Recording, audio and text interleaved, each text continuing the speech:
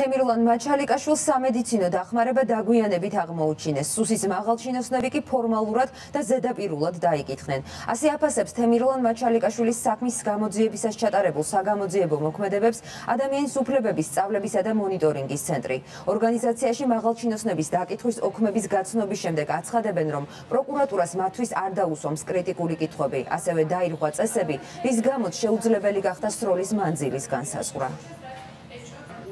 რეალურად არსებითი სახასიათის კითხვები, რომელიც მომხდარის აღდგენას, ძალის გამოყენების აუცილებლობას ან სპეცოპერაციის დაგეგმვის დროს უფლებრივი სტანდარტებით სუსის მოქმედების შემოწმებას უკავშირდება. პრინციპში ამგვარი ტიპის კითხვები არ იყო დასმული, მათ შორის ის კრიტიკული კითხვები, რომელიც ჩვენ გვაქვს სუსის უკანონო ინტერვენციასთან დაკავშირებით. ხელყომბარა არის შემოტანილი, იმიტომ იქნა დარეკილი ზარი, რომ სასტრაფო კატასტროფა მოსულიყო ომალოში, არა არა დუიში. სისხლიანი ლოგინი, დასისხლიანებული ტელეფონი, დასისხლიანებული ყურთაცმენები, რომელ რომელ ყურთაცმენებზეც დღეს არავინ არ საუბრობს. რატო არ საუბრობენ?